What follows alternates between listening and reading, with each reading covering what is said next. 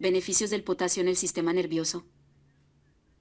El potasio actúa como carga eléctrica en movimiento, por la célula generando algunos cambios, en el voltaje y en la corriente de los axones que producen que se sientan determinadas sensaciones, frente a algo caliente, frío, salado, duro, etc. El potasio, es el mineral que aparece en mayor cantidad en el cuerpo humano después del calcio y del fósforo, además es el encargado de mantener la presión normal en el interior y exterior de las células, regula el balance de agua en el organismo y participa en el mecanismo de contracción y relajación de los músculos.